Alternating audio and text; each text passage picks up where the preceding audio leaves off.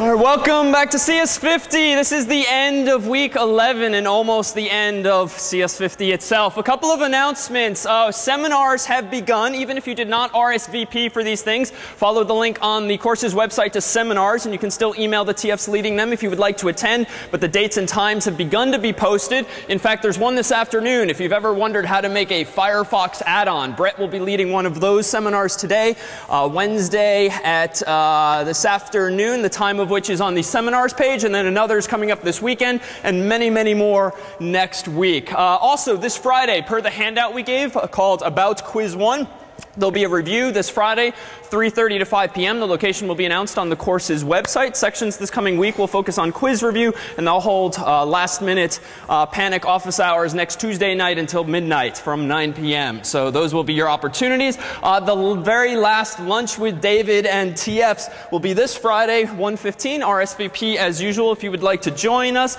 And sadly, uh, most sadly of all, our last lecture will be this coming Monday. But like last year, I hear it's going to be amazing So please do join us and tell your friends uh, uh, that that will be taking place same time as usual. And finally, the much anticipated, I'm sure, CS50 store, CS50 for your body, as Yuki and Kato and Aaron and Jansu have advertised here. Take one of life's lessons with you. Uh, wear CS50. Not only can you term bill such memories as these, but you can also use credit cards and such via Google checkout. So hopefully you will wear CS50 with you well beyond the end of this last problem set. So, with that said, today's very exciting because we have a um, a uh, power team of guests, all of them faculty members in the computer science department, here to talk about a range of computer science courses and also the material that you will cover in such courses as those. Um, think of these as teasers, perhaps, a, a pre-shopping period, but it's an exciting time, to be honest, to be getting involved in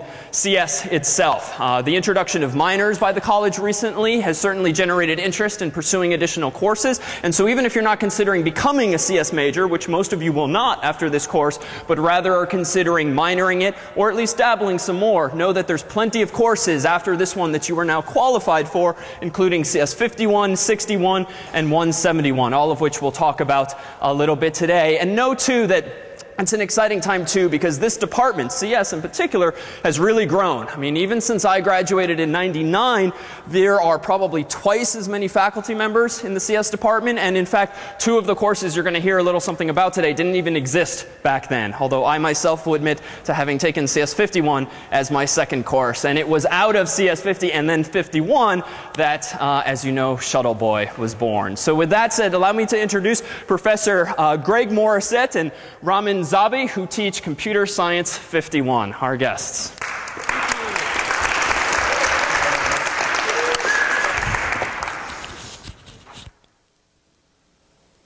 We're multiplexing mics. Hi, I'm Greg. Uh, I'm the Associate Dean for Computer Science and Engineering um, here at Harvard, um, which is just a fancy way of saying essentially the department chair.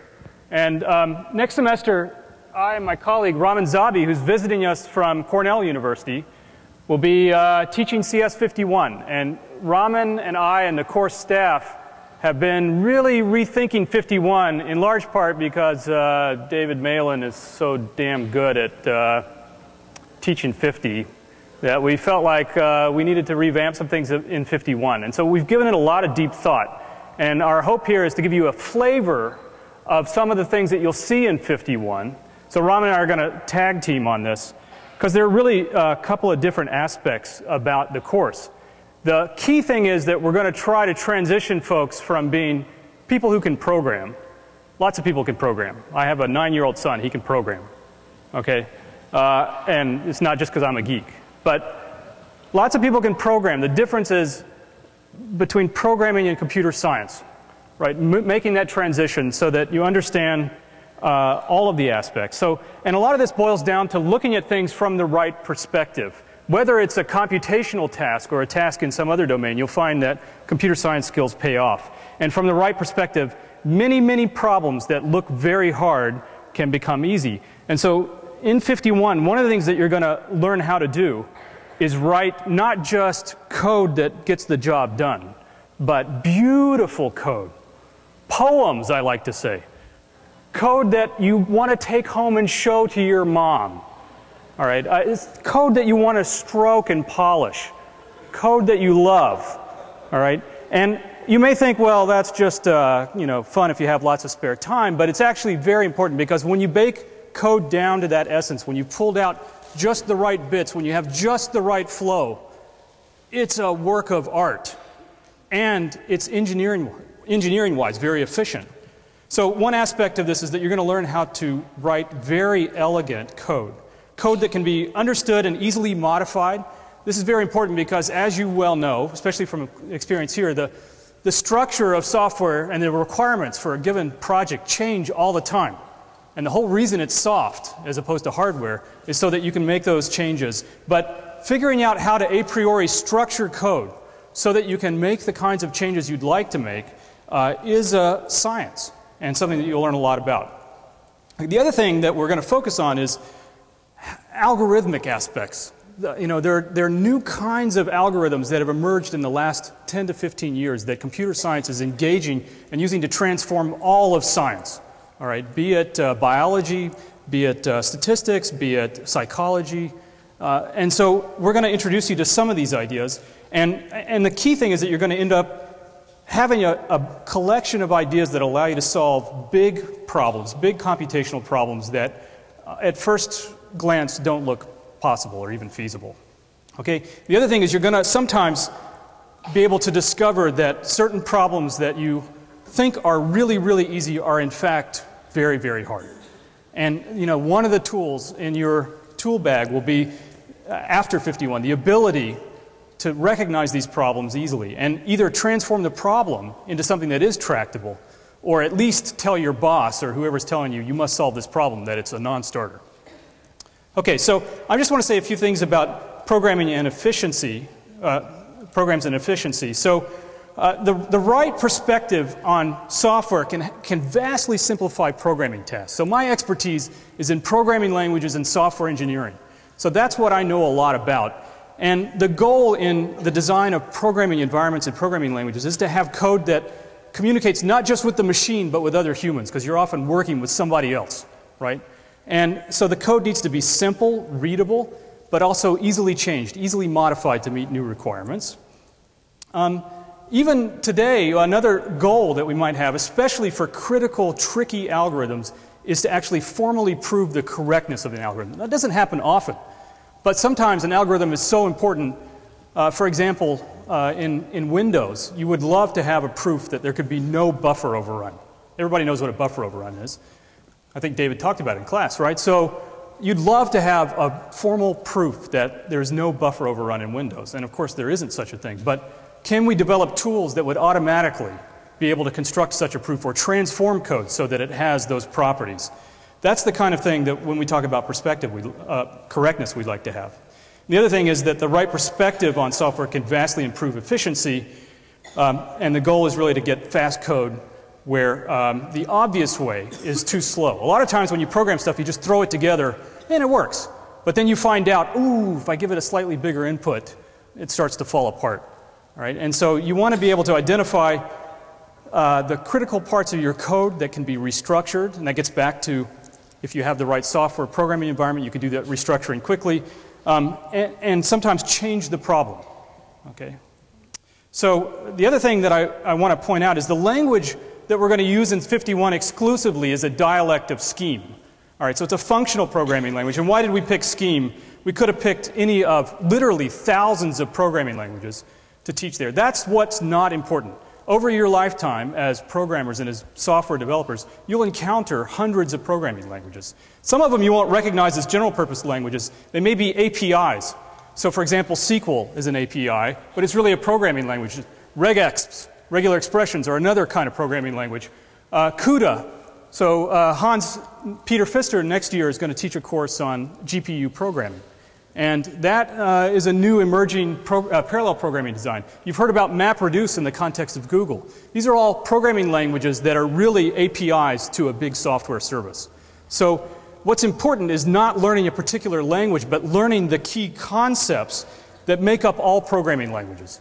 And being able to recognize, oh, that's actually just a closure or, oh, that's actually something that I could encode with closures or with objects or this way or that if I need that kind of functionality when I go to solve a task. So what we're going to be concentrating on is not the particular programming language, but rather key linguistic concepts and key things and patterns that over, arise over and over again in software, and how do you recognize those and how do you recreate those in a new context.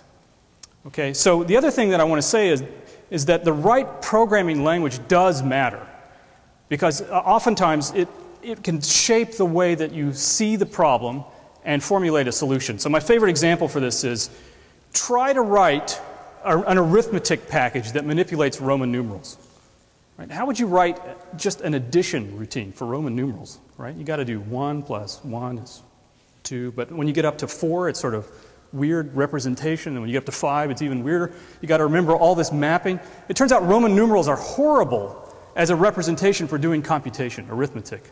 Arabic numbers are much better. Binary is even better. It's even easier. All right, so if you are a Roman, though, and you're using Roman numerals, you would not even think about how to do something complicated with arithmetic because it would be hard. If you have the right programming language, then certain things look and are easy. And again, that gets back to having the right sort of concepts in your brain and being able to map them into the programming environment that you have at hand. So, another example is that there are emerging things that happen all the time. So, parallelism is a hot topic, right? And the programming languages of yesterday really aren't geared towards good kinds of parallelism. So a good, a good example is you might have a game engine written in C++, and you might really like it to perform very well, and so you'd like to use speculative concurrency as a way to speed up the computation. But it turns out that it's very hard to take standard imperative C++ code and make it speculatively concurrent. On the other hand, it's hard to take languages like Perl which might be easier to do speculation for, and compile them efficiently. So, why is that? Those are the sort of things that we're going to talk about in terms of software, programming languages, programming environments. So, now I'm going to turn it over to Ramin, and he's going to tell you about the other key perspective and focus in the course. Oh, I got one more thing. One more slide. I want to say uh, also there's a deep connection, for those of you who are, are really into foundational mathematics, like me, between code and and math. So it turns out that proofs and functional programming languages like Scheme have a deep correspondence. It even has a technical name called the Curry-Howard isomorphism. And so the key thing there is that analogs in proofs, like a proof by induction, corresponds to recursion in Scheme. And a proof by cases or pattern uh, corresponds to pattern matching or a switch statement. And a proof by a lemma is really just a function application.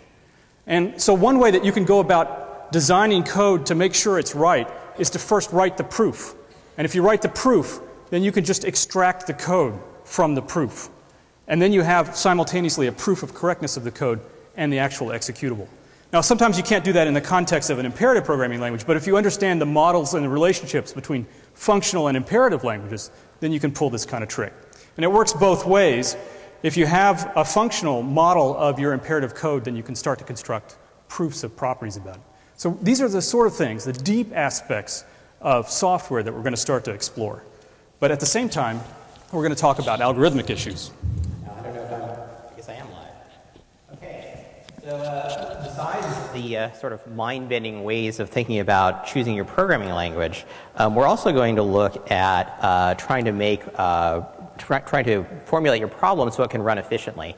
And there's just a really amazing set of techniques we're going to show you at least some of in uh, this course, including a number of things that are not traditionally done at the undergraduate level at all. Some of the material I'll show you is really typically covered in graduate courses, but we're, we're sort of giving you sort of, you know, uh, a, a, carefully chosen, uh, interesting version of it. So um, as, uh, as Greg mentioned, um, there's usually an obvious way to solve some kind of computational problem. Um, so for example, from CS50 in your spell checker uh, dictionary, um, you could represent your dictionary just as an array, and you could just do a linear search of it. Um, and there's, there's almost always some kind of simple, straightforward uh, solution. Um, what happens if this thing is just way too slow? And when a computer scientist says way too slow, don't think, oh, it will take 10 minutes. Think more like it might take until the end of the universe. Okay, um, and uh, in that case, uh, sometimes it turns out that there are vastly better solutions. And I'll show you a little toy example in just a moment, uh, where with a little bit of cleverness, you can actually do much, much better. Um, moreover, sometimes it turns out that problems, sometimes problems that look hard turn out to be easy. Sometimes problems that are easy turn out, that look easy turn out to actually be hard. And we're going to teach you sort of ways of thinking about these problems that can allow you to distinguish these cases. And as you'll see in just a moment, it's actually quite tricky. Some of these things that look very similar to each other have very different, uh, very different properties. Um, and sometimes you can just end up, you know, discovering that the task that someone suggested that you try to figure out is just too hard. Um, you can prove that you can't, and maybe suggest some way of modifying the problem instead. So we're going to cover all of these possibilities. And now for the remaining uh, couple of uh, remaining uh, sort of uh, 10 or 15 minutes, I'm going to preview for you a few sample problems. And uh, these are sample problems that are intended to illustrate the kind of uh, techniques we're going to cover. Um, and they're also they're not they're not exactly traditional computer science problems, perhaps. Okay, so here are some friends on Facebook. Um, probably the only face you might not recognize is the guy at the bottom, the bottom left. That's Larry Summers. All right, so here's a question. Um, let's suppose that uh, Barack gets some good news, and uh, we'll tell you a particular piece of good news he uh, got recently, uh, maybe not the obvious one. Um, and we're going to look at how he can spread that news uh, to his friends. And in particular, uh, we'll look at an initial version of this problem um, that I'm calling the conversation problem. So every person in the conversation problem should have a conversation with each friend. Um, and uh, you want to sort of find a way for the good news to spread. So here's a little example. So here's our people, and they, Barack discovers a piece of good news, and he tells his Secretary of State, um, and uh, she tells him, all right. And then she tells her husband, and uh, he, uh, he responds in kind. The news continues to propagate. Eventually, everyone has heard the good news. Okay, so that's our sort of uh, our first version of uh, the problem. So we want uh, everyone to sort of have this conversation, um, and we want them all to have a conversation once. Um, I'm certain that uh, some of them, for, for, some of them, once is more than enough. Okay, so that seems like a reasonable problem. Uh, let's look at a slightly different variant of the problem. Where again, Barack is going to share his good news. And in this version of the problem, um, each person hears the news once through a friend. Um, and again, you want to figure out a way for the news to spread. Um, so here's the notification problem. So Barack has the same piece of good news. He's happy. He tells the Secretary of State. She's not so happy. She tells her husband. He's not happy. Ted's happy. Okay. The news keeps on spreading.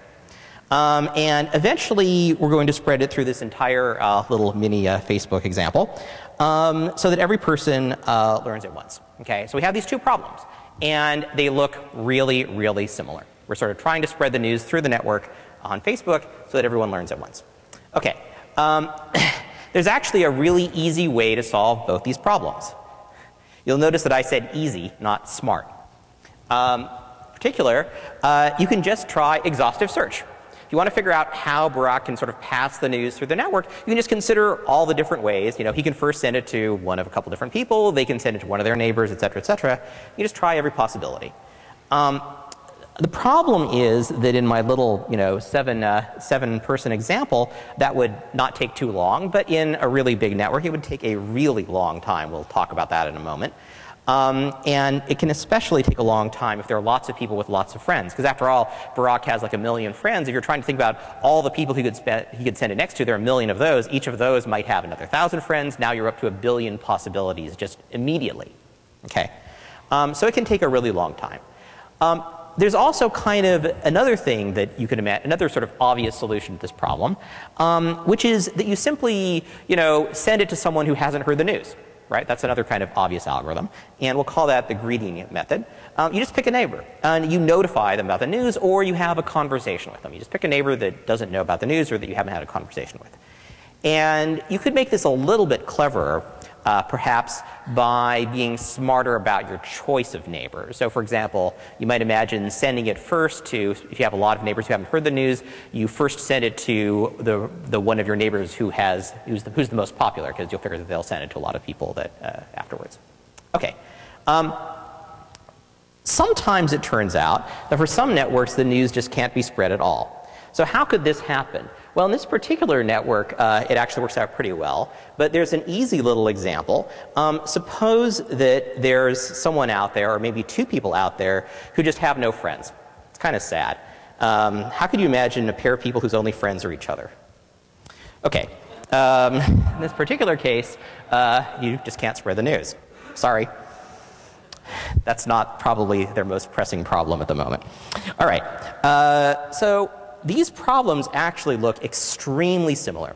We're spreading the news on Facebook, we're spreading it between friends, and we're trying to avoid repetition. One of these problems is really easy, and one of them isn't. Okay? Turns out that one of these problems can be solved pretty easily in order n time. The word pretty easily there is maybe a little bit deceptive. Um, if you think about it carefully, you can solve it pretty easily.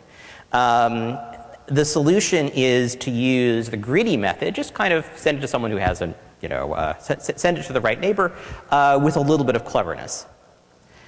For the other problem, no one can do much better than exhaustive search. You know, I told you that it would take a really long time, um, and no one actually knows how to do uh, much better than that. Um, so let's take a quick poll. So remember we have these two problems. There's the conversation problem and the notification problem. The conversation problem, pairs of people have conversations. The notification problem, everybody hears it once. One of them is easy, one of them is hard. How many of you think that the uh, first problem, the problem where they're having conversations, is hard? Raise your hand. No one thinks it's hard. Few people think it's hard. Okay. How about the other one, where you have to send it to uh, your friends? Okay. Most people think. Okay. So that, that's that, that, that's what more more people think. That turns out to be correct, by the way. Um, but it's not at all obvious. Uh, it takes a it takes a bit of thought.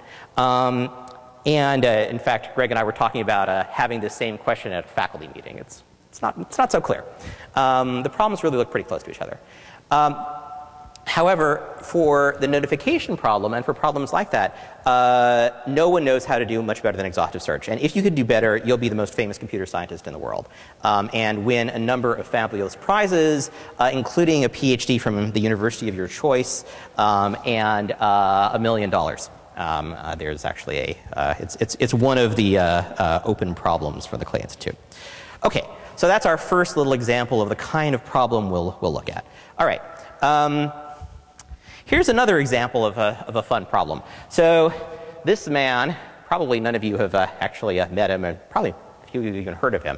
Um, but perhaps he has the world's toughest job. Uh, this is J Allard. He's a corporate vice president at Microsoft. Um, and uh, his job is to make the Zune popular. Um, he must be an incredible optimist. Okay, some of you are probably at this point wondering what a Zune might be. Um, it's kind of like an iPod. Uh, but it has two important features. Uh, feature number one, uh, it can't use iTunes. Is that a feature? feature number two is it's made by Microsoft. Okay. So let's try to help Jay out because God knows he needs help. Um, how could he make Zunes popular? Well, okay, so giving up is, for the moment, we'll just assume that that's not an option.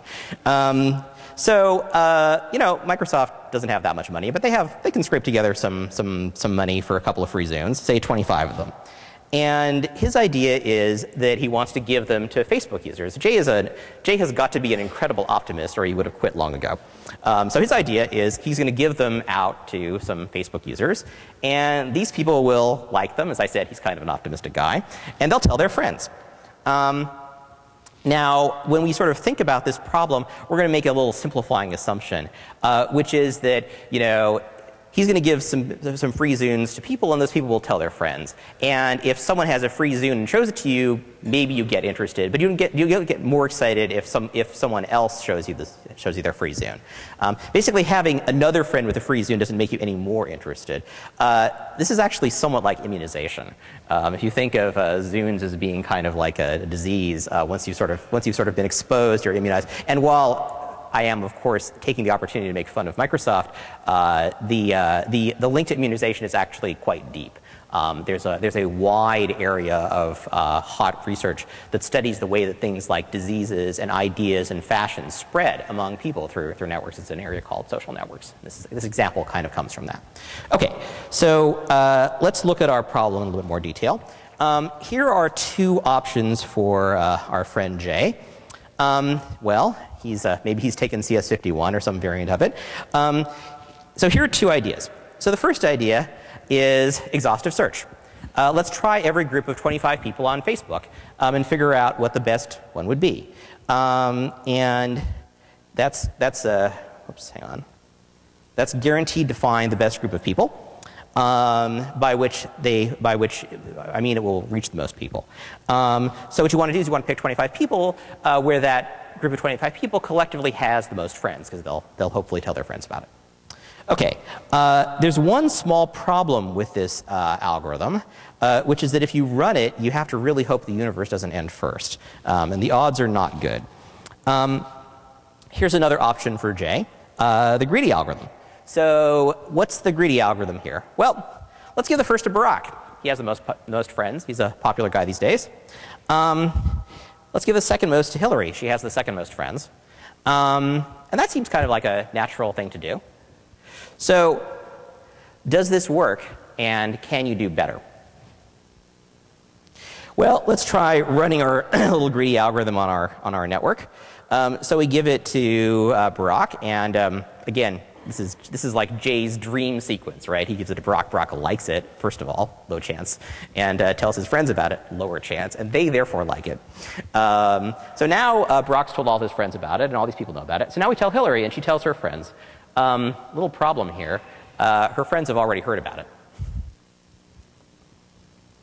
So the problem with this greedy solution um, is that Barack's and Hillary's friends overlap a lot, at least in our example, maybe not so much in real life. Um, in this little example, uh, she actually adds nothing. Uh, and uh, frighteningly enough, if you uh, go back to the little example uh, and you want to give it to two people, the first one is Barack. Who's the second one? George or Dick. That's right. kind of frightening property. That's right, because uh, Barack's already covered all these guys. Okay, so you want popular people, but you also want ones with distinct friends, which makes the problem a little more tricky. So let's go back to thinking about the exhaustive solution. Um, and let's just think just kind of on the back of the envelope about how long it would take it to run. So let's suppose that Facebook only had 10 million users. It has way more than 10 million users. Um, how many groups of 25 would there be? The answer is over 10 to the 149th. Okay, which is one of those numbers that, uh, you know, in, in just five characters is, is more or less an inconceivable number.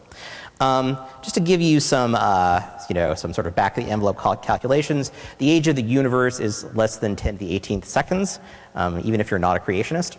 Uh, so if you could try uh, 10 to the 100th groups, if in a single second you could try, you, could, you could consider 10 to the 100th possibilities, okay? 10 to the 100th is, of course, a googol. Okay, if you could try that ridiculous number of possibilities in a single second, and you started running this algorithm um, when the universe began, you wouldn't be done yet. Okay, and uh, uh, it's unlikely you would finish. Um, just to give you yet another sort of, uh, uh you know, uh, way of thinking about this problem, they're about 10 to the 80th elementary particles. No one's really counted, but it's you know 10 to the 80th plus or minus you know a, a, a few. Um, and uh, so you really can't solve this problem by exhaustive search, as it, as it turns out. Um, so exhaustive search, not so good. Greedy algorithm didn't work so well. Uh, what can you do? Um, can we actually beat exhaustive search? Can we figure out a way to distribute these damn Zunes uh, in a way that uh, actually, you know, really, you know, gets the right set?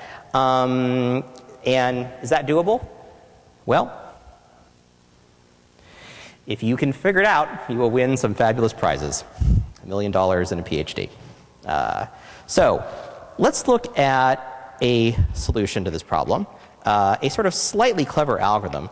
And in fact, um, there's a question mark on this slide because the algorithm isn't necessarily all that clever, but it has a very non-obvious property. So here's our uh, clever algorithm. Uh, you begin by giving the Zune to Barack. I mean, that's kind of the obvious thing to do. You give it to the most popular person. Um, now what you do is you forget about him and all his friends because they've already been infected. Sorry, they've already learned about the Zune. Okay, um, don't, you, don't, you, don't, you don't need to consider them anymore. And now you give it to whoever's left who has the most friends. And then you forget about them. And you continue doing this until you've distributed the entire set of 25, until, until uh, Microsoft's uh, budget for giving out free Zunes has been exhausted. Um, so uh, you run that method.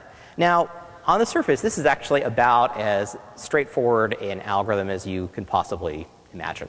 Right? You can, you can write that in a couple lines of code. It turns out it has an amazing property. Remember, you can't actually find the best solution without sort of trying everything. Um, well, let's pretend that if you were willing, willing to try all 10 to the 149th solutions, uh, you would be able to uh, sort of slowly find a way to reach uh, a million people. Um, it turns out that this simple algorithm uh, will actually quickly reach over 632,120 people. Uh, you have to be a pretty serious geek to know what 632,120 is. We'll, we'll leave it as a little exercise. Um, but uh, it's kind of amazing. So this, this really simple algorithm will actually get you the right, will get you very close to the right answer. Okay. Um, two more quick problems, uh, and uh, then I'll turn it over to, the, the to, uh, to, to, Matt. Um, so here's a problem that was on the New York Times recently.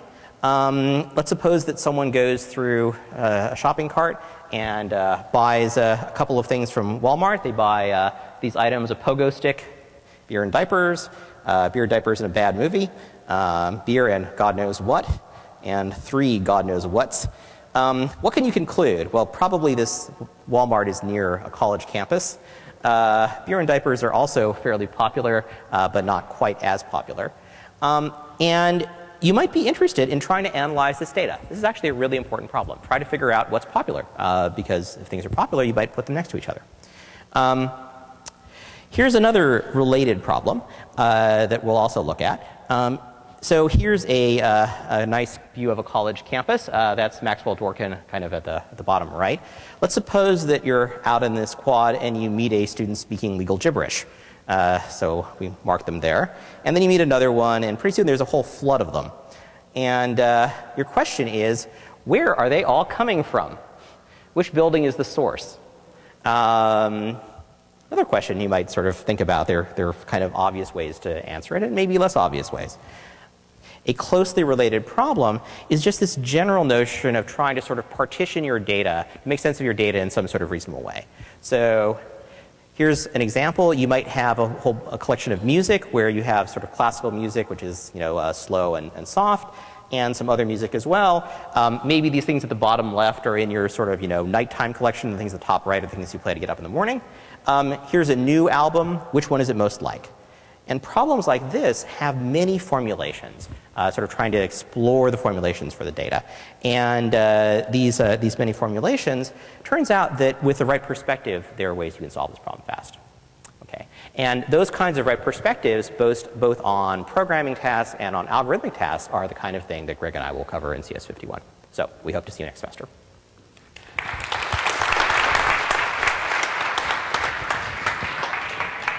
Up next is Professor Matt Welsh, who teaches a new course which debuted last year for the first time called CS61, Systems Programming class. And it's Matt's course that has that wonderfully exciting first problem set that I mentioned on Monday, that of the binary bomb. So I hope you enjoy this next teaser. Okay, I had to shut down my email so you couldn't see all the people posting on my Facebook uh, profile today. Um, all right, great. So it's actually really exciting to be teaching here in Sanders Theater. I've never had a chance. I've, I've been here once uh, before. Uh, you would think they would give all new Harvard faculty a free uh, lecture in this room just to make you feel like a real Harvard professor. So I got it now. Um, what I want to do is just talk to you very briefly about CS61, which is a new class. We started this class last year. And the idea behind CS61 is to um, provide an introduction to computer systems and uh, what's called machine organization, which is really one way of saying, you know, how do computers really work down on the inside? Uh, and this will be uh, offered uh, in fall 2009. Uh, generally Tuesdays and Thursdays, 2.30 to 4. I doubt the time will change. Uh, prerequisites is this class, of course, or for your friends who may not have taken CS50, and I can't imagine why they didn't. Uh, if, if you have C programming experience of some kind, uh, you, can, you can skip over 50 and take 61 directly. Um, uh, CS61 can be used to satisfy the, uh, the breadth requirement uh, in the CS concentration, and you can also use it for the CS minor uh, requirement. And uh, my recommendation to most people is that you uh, consider taking CS 61 and 51, uh, in particular if you're going to be a um, uh, CS concentrator, but you know, more generally speaking, that they, they both reflect kind of two sides of the same coin. That CS 61 is about systems programming, CS 51 is about higher levels of computer science, and so they go together very nicely. All right, so what is the class all about? Um, what I want to do in this class is try to reveal how computers really work. So this is about getting under the hood, understanding how processors work, what registers are, how memory works, uh, how compilers work to a certain extent, since they generate all the code that your computers actually run, and being able to understand what affects the performance of programs running on your computer. So um, the, architecture of the processor, that is how, it, how the processor is designed internally, how it accesses memory, what instructions does it provide, how do those instructions interact with each other. Caching and memory management. Um, caches are very important to getting good performance, and, and most computers these days have many, many megabytes of cache built in on the processor chip itself. If it weren't for that cache memory, most computers would run hundreds or thousands of times slower than they actually do. It turns out that caching is so important, and therefore, so is writing code that takes good, uh, good, makes good use of the cache. And also talking about operating system ideas that affect the performance of programming, uh, programs that you run. So processes and threads and dynamic memory management, virtual memory, those kinds of things are very important to understand. So this is a very practical course in a lot of ways. It's about writing very solid systems code, writing very fast systems code, and really understanding what's going on down inside so that you know, you can dig down to the, the, the deep mysteries of what's going on inside the computer. The reason that we decided to introduce this course was largely because we perceived there was a, a, a, tremendous gap between, I think, the concepts that are presented in a lot of computer science courses and the reality of what's actually going on at the level of the circuits in the computer itself. Um, now, this gap becomes more profound, I think, when you start programming in higher level languages. In this class, you've largely focused on programming in C. C is a very low level language. Some people call C basically syntactic sugar on top of assembly. Yeah? But if you start programming in Java, or like I do most of the time, you program in Python, if you only programmed in a language like Python, you would have a very difficult time understanding what affected the performance and the correctness of those programs. And that's because the language hides a lot from you. Now that's a good thing, as Greg was saying, that having the right language allows you to express things. I can do something in one line of Python that would take me probably 20 or 40 lines to do in C, because I can have a list comprehension. It's beautiful, it's clean, it's slick. Yes, and I'm lazy. I'm a lazy programmer, so I like programming in Python. But if you want to get good performance, you've got to understand what's happening down on, inside the machine. It's also really important to understand how computers work in order for you to understand what happens when you study operating systems, databases, processor architecture, compilers, networks, and so forth. And these are, of course, things that are in the advanced course sequence for the computer science concentration. So if you're planning to be a CS concentrator, understanding some basic things about the guts of a computer help you a lot in going forward. Um, and so even if you're not planning on being a CS major, uh, CS61 is the kind of class that will really help you become a better programmer.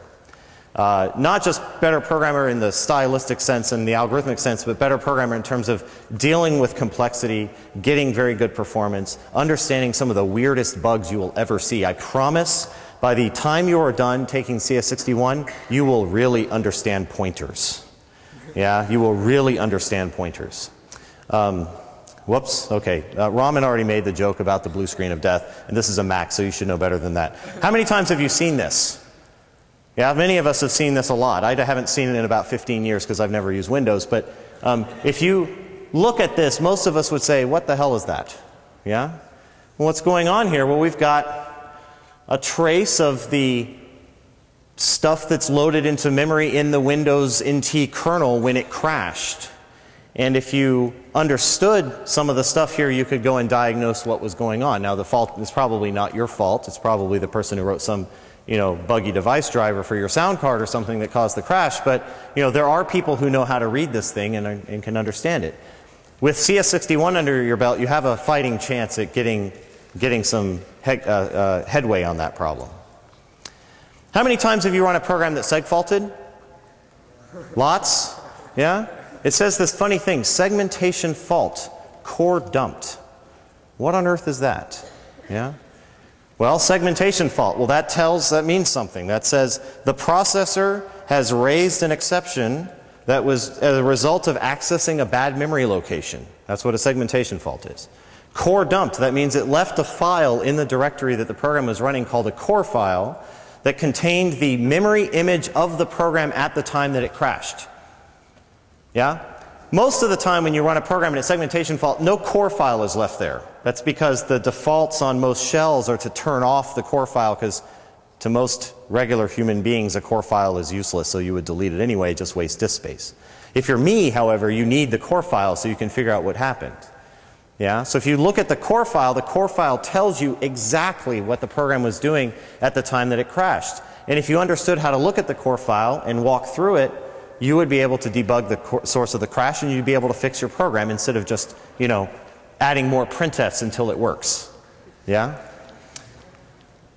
So let's say that I was able to load this core file in. How would you do it? Well, GDB, the GNU debugger, is able to read in core files. So you give GDB the executable, the program that you're running, and you give it the core file, which says here's the snapshot of its, uh, its post-mortem, so to speak.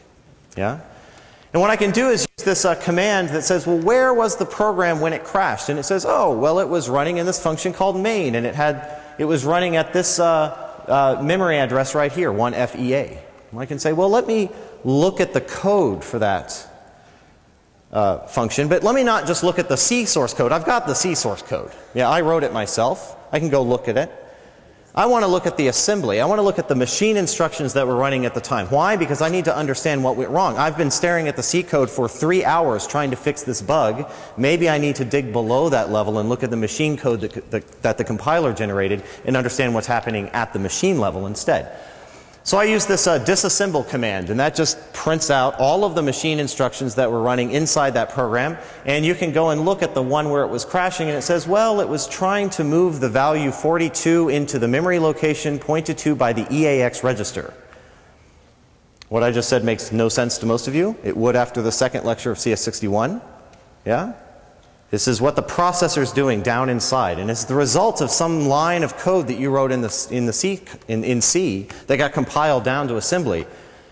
You should be able to read this and understand what's going on. It's actually not that complicated. Assembly language sounds scary. Sounds like something that only hackers need to understand. Sounds like something that, you know, why would I ever want to look at assembly language? That's like really low level, right? The way I look at assembly language, it's not that you actually need to write any assembly code, but you should be able to read it, at least at a basic level. It's like Latin. Yes? Unless you're planning on working in the Vatican, speaking Latin is not that useful of a skill to have.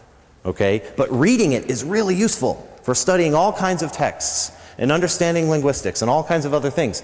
Much the same way with assembly language. If you could read this, you would be able to debug your code better, you'd be able to understand performance anomalies, you'd be able to understand memory bugs, and it would help you be a better programmer. Okay, so here's a very practical example of this. Let's say that um, I left a program in my home directory that when you ran it asked for a password.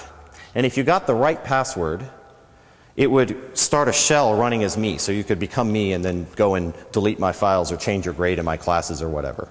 Okay? Yes? Um, so if you type in the right password, it starts up a shell as MDW. That's my username. Well, if you get the wrong password, um, it's got a trapdoor built in, so it actually emails President Faust and uh, automatically ad boards you. yes? So don't try to guess the wrong password. So you want to guess only the right password. You don't want to guess the wrong one. How would you do it? Well, you're not going to get it right on the first try. Yeah, so do you just not try at all? No, you're determined. Well, let's see here. What is this MDW shell? That's an executable file that was produced by a C compiler. If I could look at the machine instructions inside of that, without even having the source code, if I could read the assembly code inside of that, I could figure out what it's doing and figure out what password it's asking for. Well, if I just try to cat the executable file, you're going to get a bunch of garbage on the screen and it'll probably close your terminal and beep a lot of times at you. So that's not going to work. All these things that look like Icelandic are really machine instructions rendered as ASCII. Okay?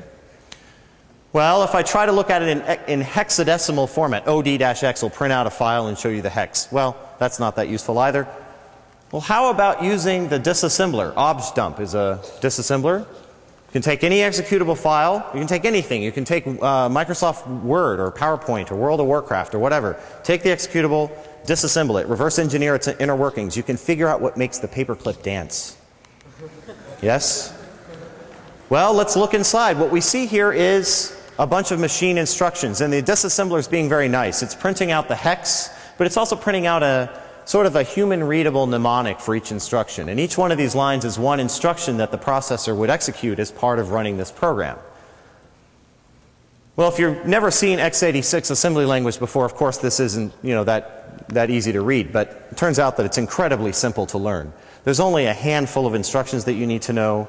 Uh, learning x86 assembly is, is, is not so much like learning a new programming language. It's much simpler than that. Um, so we could figure out what's going on here, and you'll learn that if you take the class. It's pretty easy. So let's just take a segment of the code here. Well, I could tell you what it does. You know, the first line is putting something called the EBP register on the stack, and the second line is copying the stack. You know, we could go through the details of what it's doing. Well, it turns out that in this program, one of the things it's doing is it's comparing the thing you typed to this thing that's sitting in this other memory location. Hmm, sounds like a way of checking the password, right? So I noticed that it's actually looking at this memory location to make a decision about whether the password was correct. Well, let me go and look at that memory location and see what's there. Well, if I look at that section of the memory, I see this, which is another memory address. And you'd know that that was a memory address because the x86 processor is a little endian, and so you'd have to swap the bytes in order to get a human readable form. Again, I'll teach you all this stuff, but you know, this is how hackers do things. This is how they figured out how the iPhone was jailbroken. Yeah?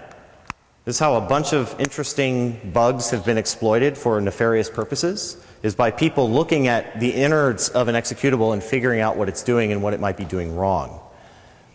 Well, in this case, if we look at this memory location in the executable and we dump that out, we see this string here, but if we translate that into ASCII, I'm sorry the text is kind of dark, it tells you what the password is, and the password is, well, it's take CS61. So that's my little subtle uh, uh, message to all of you. Okay. So this was be just a very simple example. Now that was a really simple example, and you know, I'll walk you through exactly how to do all those things in the class. The first assignment in CS61 is so much fun. What we do is we give you an executable, and it asks you for a series of seven passwords. You got to get all seven passwords right. If you get one of the passwords wrong, it sends an email to your TF and you lose a quarter point off the assignment. Now, just a quarter point, so you'd have to get it wrong a lot in order to actually damage your grade, but it's going to prevent you from brute forcing it. Yeah? Seven passwords. Now, the first password is something very simple like this, where it's a string, and you can go look in the executable and figure out what the string is. The rest of the passwords are not so simple. They're things like the result of an arithmetic computation that's being done by the executable. You've got to compare what you type in to the, what the executable is doing. So this is a great way of learning x86 assembly. It's a lot of fun. People get addicted to this assignment. I got addicted to this assignment because I try to do it every year myself just to make sure my x86 assembly is still sharp. And you kind of get sucked into figuring out what the next password is. It's a lot of, a lot of fun. Okay. I want to tell you very quickly about my favorite hack of all time, which is something that I discuss in this class a little bit. Ken Thompson uh, he was one of the co-inventors of Unix. I hope you know what Unix is, yes? Probably the most famous operating system of all time. He won the Turing Award in 1983, which is computer science's highest honor. This is like the Nobel Prize for computer science. And as part of winning the award, you go and give a big lecture in a room that probably looks like this one to people wearing tuxedos and stuff. Yes? During the, the lecture, he made, and this is, you know, 20 something years after Unix was first developed, he made this stunning uh, revelation. And he said that he added a back door into the early versions of Unix that would allow him to log in to any Unix computer. This is before the internet, really, so it wasn't like that meant he could go log into Unix machines all over the place. And by the way, the back door's been removed, so you don't have to worry that he can break into your Linux box or something. But he wanted to make sure that if there was a problem with a Unix computer anywhere, he developed Unix, he wanted to be able to get into it. So he added a backdoor into the login program that would accept a magic password. Well, the problem was that everybody had the source code for all the programs. So anybody looking at login.c would just notice, hey, there's this funny hack here that if you type Ken with the magic password, it'll let you in. Yeah? So anybody would have seen this. It was like open source before they called it open source. It's before there was such thing as closed source. Yeah? So anybody could find the backdoor code. So he said, well, how do I hide the backdoor code? I got it. I also wrote the C compiler. Are you with me? Yes? So he hacked the C compiler to recognize when it was compiling this file called login.c to add the backdoor code into the executable. And then he deleted the original login.c file. So there is no trace anywhere of his backdoor. Well, now we have a problem. What's the problem? The source code for the C compiler sitting around too. All right, so if somebody happened to be looking inside of there, they see this very suspicious looking code that was hacking login to add the backdoor. So what did he do? He hacked the C compiler so it recognized when it was compiling itself to add the backdoor code into itself to add the backdoor code into login.c. And then he deleted the original C compiler source code. Does this make sense? It's viral, yes? Every time the compiler compiles itself, it inserts the backdoor, so the next generation of the compiler always has the backdoor hidden inside of it. This must be the coolest thing that has ever been done. I think this is so cool. Um, so the only way you would know that this backdoor existed at all would you'd have to look inside of the binary code for either login or the C compiler. You'd have to disassemble it and look at the assembly, and you'd look at the assembly and you say, wait a minute, there seems to be some assembly code here that doesn't correspond to any C code that I've ever seen. Yeah? So it's one of the coolest hacks ever, and he got away with it for some time. I don't know how many systems had his little funky backdoor on it, but it was early days of Unix, so it wasn't like he was breaking any laws. Okay, so just to wrap up. So why do you want to take CS61? CS61 is going to help you understand how computers work. It's going to help you debug the hardest and most interesting bugs you will ever see. Um, as I said, you'll be able to hack binaries for fun and profit. You know, the code vet, I, do a whole lecture where I talk about the code red virus and how it kind of took over the whole internet because it was exploiting Stack Overflow bugs in Microsoft's web server. How to measure the performance of your programs, how to optimize them, and how to write concurrent multi-threaded programs like a pro. So after CS61, you're going to get kind of a lot of uh, exposure to these systems things. So sounds pretty hard. I want to emphasize CS61 is really intended to be an intro level course. It's meant to be the same difficulty level as say CS51. It's not intended to be a really advanced course. It is intended for non-CS concentrators as well as CS concentrators. So we try to emphasize a lot that um, only about half the people who take 61 this year I think are CS concentrators. Um, I had people taking uh, CS61 last year who were classics majors. Yeah? So they took my whole advice on Latin seriously. Um, there's five lab assignments. The first one, you hack a binary. The second one, we give you a binary that's got bugs in it, and you have to exploit the bugs in order to cause the binary to do things it was not designed to do. Yeah? The third one, you implement malloc. There's where you learn about pointers for real, okay? Um, you're going to write your own Unix shell, and then the final lab is a lot of fun. You write your own concurrent multi-threaded server. You get to work in pairs on the labs, so you have help. Um, and the midterm and the final are both take-home exams, so you know they're a little bit less stressful than some other exams. Okay, so what we'll talk about in the class: x86 assembly language, um, performance measurement, linking, loading, memory, uh, Unix systems programming, files, pipes, signals, processes, thread synchronization, uh, Unix sockets, and implementing concurrent servers. That's the syllabus. You can go look, all the um, lecture notes and everything from this year online. You can go to the CS61 webpage, look through them. You can look at the labs. You know, the same, be the same labs next year. So you can kind of get a sense of what the workload's like. Okay. This is the last thing I want to say.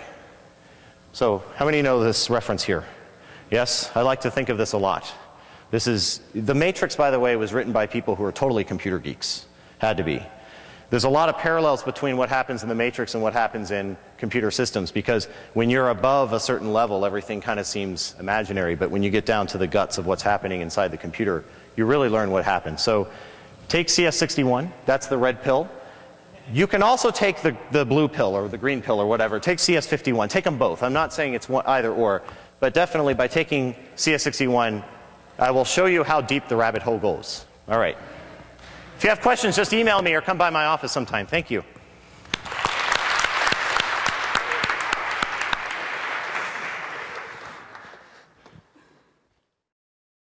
Computer Science 171, visualization, which is all about putting to use some of the skills you've acquired in this course and would acquire in some of these other courses and using them to present interesting and particularly large data sets in compelling ways so that humans can actually make sense of what on first glance might itself be rather overwhelming.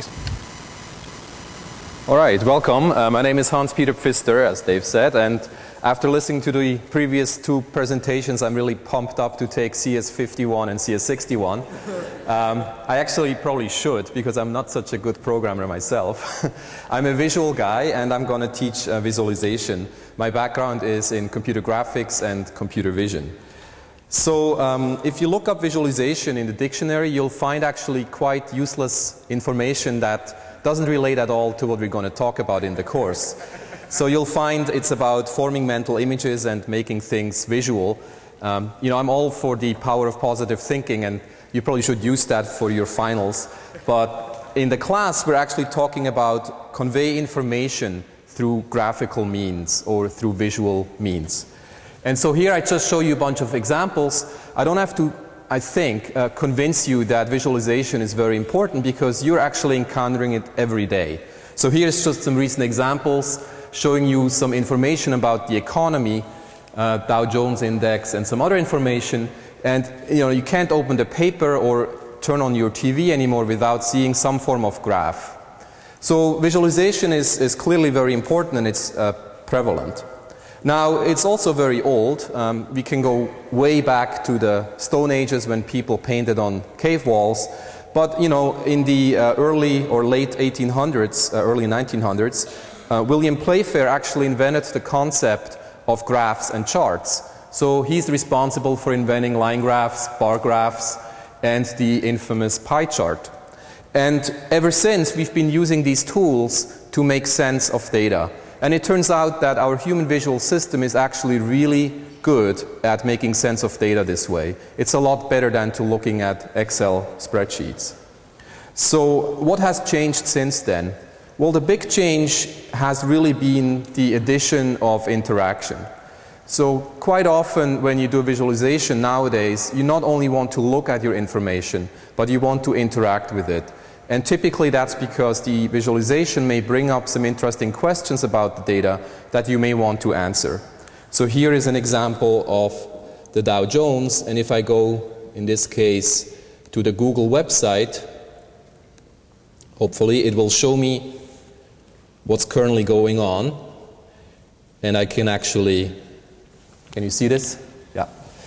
I can actually zoom in here. So I have little sliders here that let me zoom in and zoom out. So I can see exactly what's going on today. I can even find information about, you know, relationship of what's going on in the market to what's happening in the world and link directly to information that is online. Now this kind of interaction is extremely important and in CS171 you'll actually learn how to build these types of interactive visualization applications. So let's go back to the slides. Let me show you another graph. Again, uh, this is financial information. This is from the New York Times website. And we can jump there real quick. So this shows you the amount of deficit or budget shortfall across the United States broken up by state. And you know, one thing you may notice, uh, first of all, you know, there's a, a, bubble chart here overlaid on top of the map, and the size of the bubble tells you actually how big that budget shortfall is. So the bigger, the worse. And if you look at this closely, you may notice this big bubble over here, right around Massachusetts, and lo and behold, Turns out we have one of the biggest budget shortfalls because of the economy right now, and we're going to be in big trouble. So you actually can drill into this data and you can find some information related to this data using these interactive tools. Let me show you a last example. This is called the map of the market, and you may have never seen this kind of visualization before. It's called a tree map. So each square here represents a company, and the size of the square gives you an idea of their market capitalization. So the bigger the square, essentially the bigger the company. And then the companies are grouped hierarchically into different sectors of the economy. And I took this uh, actually just a couple days ago when I was preparing my slides. So uh, the color coding here shows you how much percentage change has there been in the value of these companies related to the previous closing of the market, right? So what you're seeing here is basically red. That tells you that that was a really bad day for the economy. So a lot of these companies, a lot of these different sectors of the economy really went into a tailspin. But what's interesting is there's a bunch of them that actually are green. And so you may want to find out why are these uh, companies green and what kind of companies are they and you know what kind of information um, do I need to know to maybe invest in them. So I can actually also quickly go to check what's happening today after I skip this annoying ad. Um, I don't know how to skip it, so, oh, here we go.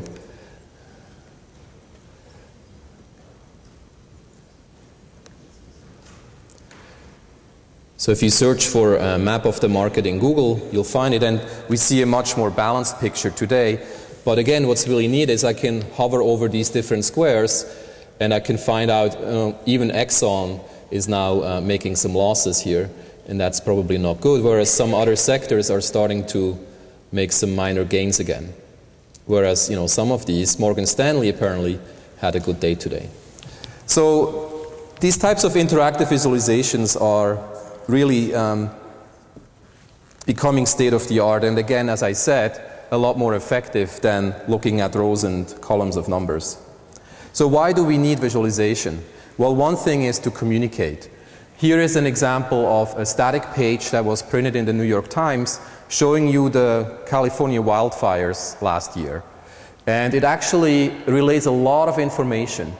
So if you look at this, um, they actually show you the extent of the current wildfires compared to some previous wildfires in 2000 they give you more detailed information with a narrative to tell you exactly what's been going on in these different areas in California.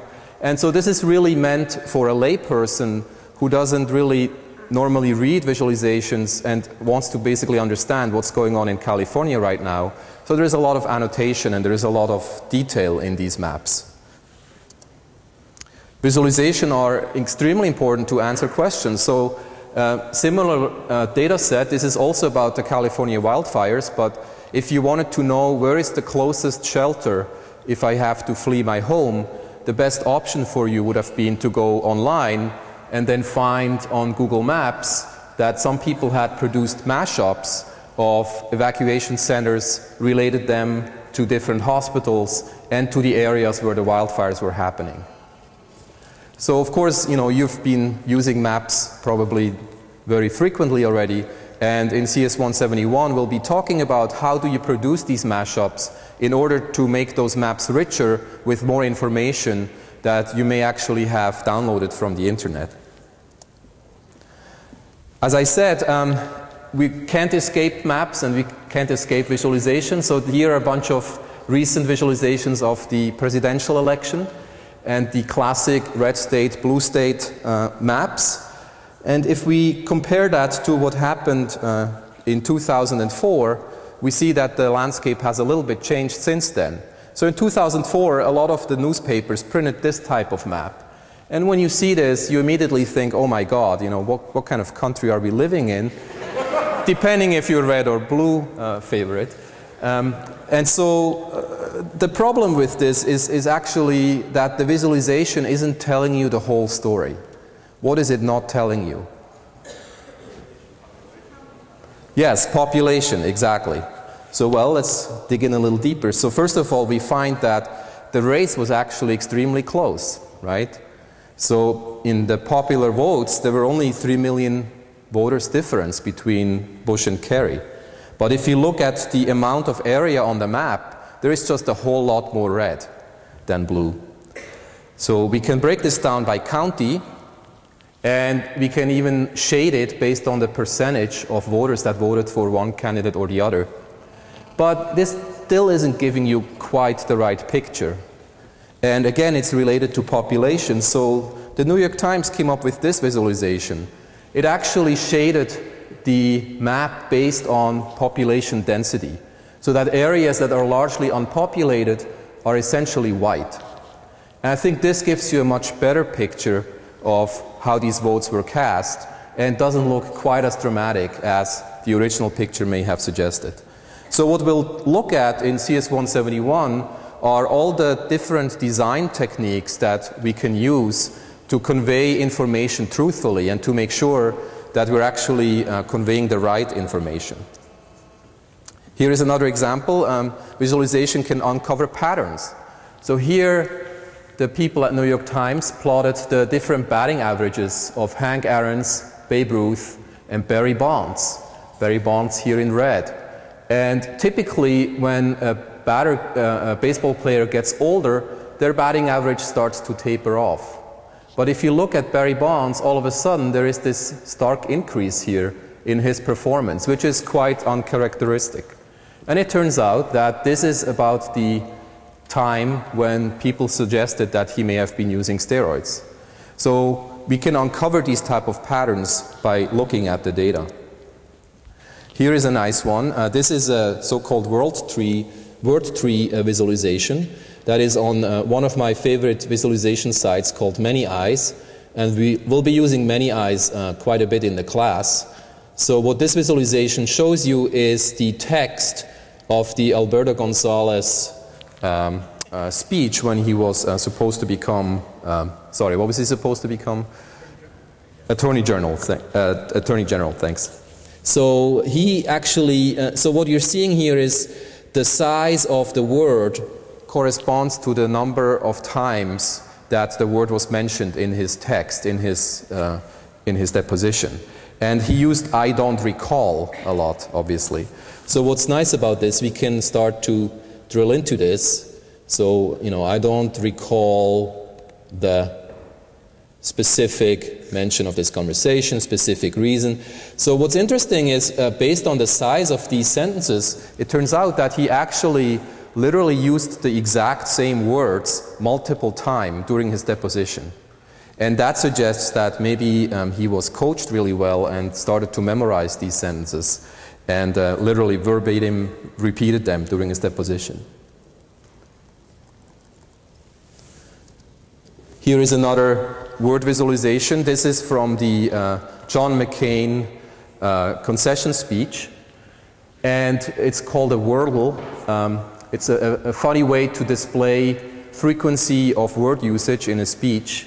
And it's become a little bit of an internet phenomenon. So a lot of people do wordles of different speeches or different types of texts. And you see he talked mainly about country campaign. What's uh, kind of neat is if you look at this little thing, that's the only mention of Sarah Palin. so visualizations can also inspire, and we'll talk about some famous visualizations uh, and also some recent examples where people really used visualizations to inspire.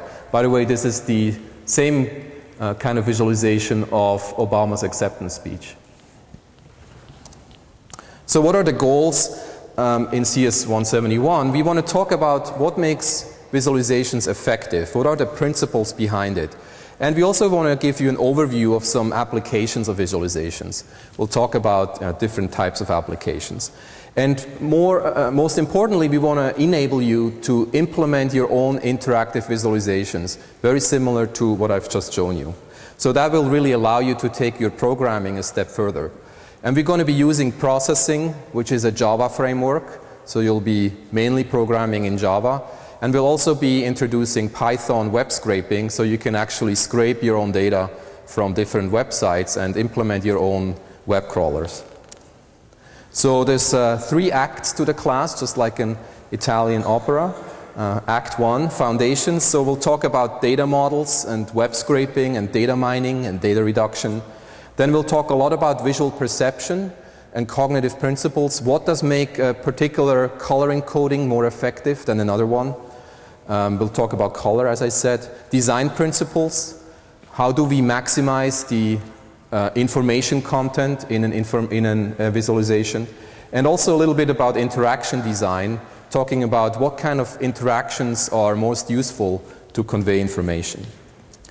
Act 2 is the uh, broad overview of different visualizations that you might be using. Charts and graphs are very prominent because those are the most useful visualizations. Then we'll talk about maps, Google Earth, trees, networks, social networks, for example, and also higher dimensional data, text, and images and video. And finally, Act 3, um, besides me dying, um, as in any good opera, we'll have a um, bunch of guest lectures. We had last year a whole bunch of people that were uh, coming by talking about all kinds of different interesting topics. And I'm not exactly sure who's going to be able to come next year, but I can promise you um, I'll try my best to get the same people or a very similar set of people to comment. and, those talks are usually a lot of fun because you get a different perspective from some of the very famous people that are in our field. So more information on the web. Uh, lectures are Monday, Wednesday, 1 to 2.30. All of the lectures are videotaped. They'll be actually streamed live and also archived online so you can look at them in the convenience of your living room if you so choose to do so. And we have four homeworks, one midterm take-home exam. And the key uh, uh, actually is a final project that you can do either alone or in teams of two, where we ask you to choose a topic of your personal interest. Basically, ask a question about something, and then go get the data and do the visualization to answer that question. And just to wrap up, I would like to show you um, a bunch of examples of what the students had done last year.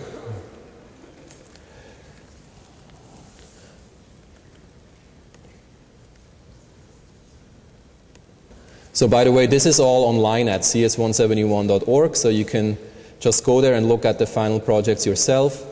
But um, Alex Chu was very interested in piano, and so he did a visualization of music. I'm just going to play this back here. Um,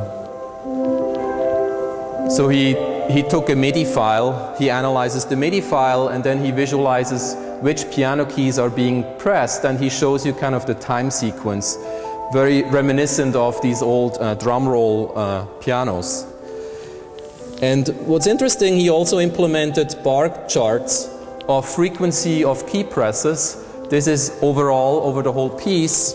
And then over here, it's actually grouped by octave. So he grouped all of the octaves into one in the center octave here. And uh, you can get sort of an impression of, of what's going on. So, so I think that worked pretty well. Here is a very useful one. Um, uh, Samir and Jesse took the Q data and made it interactive. So I'm sure you all know about the Q guide. So you can actually go to our site, or to their, to their site, I should say, and you can look at the Q data online. So here are all of the classes that you can take at Harvard. And uh, let's say, let's go to computer science. Let's pick computer science 51. so this data was from 2007, I believe. So back then, uh, Radhika was teaching CS uh, 51. So you can look at the overall score broken down by number of scores, I mean number of people who voted um, per different score. Here is the rating for the teacher. Here is the rating for the readers for the readings, sections, workload, difficulty, and so on. And then finally, recommendation. Oh yeah, you really should take CS51. But what's actually really most useful, in my opinion, and probably in yours, is you can actually filter these classes based on the workload rating. so if you're really inclined to do very hard work, you might want to take Government 1000 what's really cool too is you can click on this and now we're filtering the opposite, right? So if you want to do something really, really easy, maybe anthropology is your game. so, um, again, you know, this interactive application is actually quite fun to play with, and I invite you to, to take a look. Let me just show you one more for fun. Um, we also had uh, Daniel. He, uh, he actually was really interested through a roommate of his to look at the poetry of Emily Dickinson.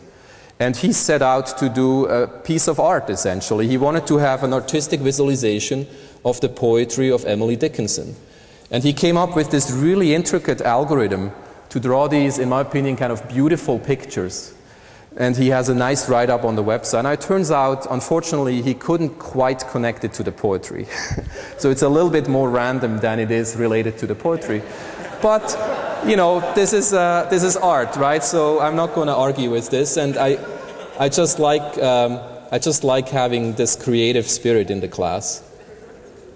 And finally, let me show you uh, maybe something a little more useful. So Karen Feng, she looked at different technology blocks and she wanted to know, so, you know, these are all somehow related because a lot of these are co-owned by the same companies, right? So here is a bunch of uh, blog articles. So each bubble here is an article, and the size of the bubble again gives you the frequency of the number of links to that article, right? So bigger bubbles mean articles that were more popular by number of links linked to them.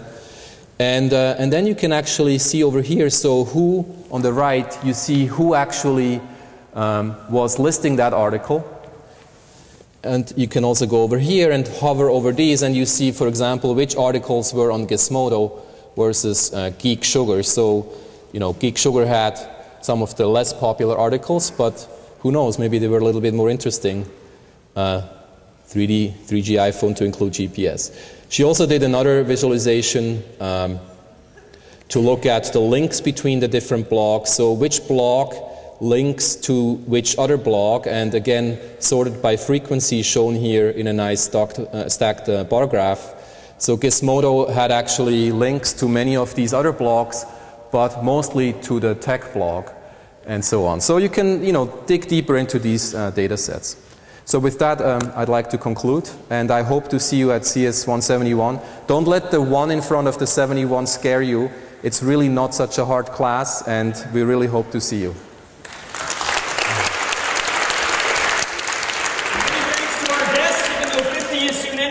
take CS51, 61, 171 and return on Monday for our final amazing lecture where I will likely be wearing sweatshirts and sweatpants.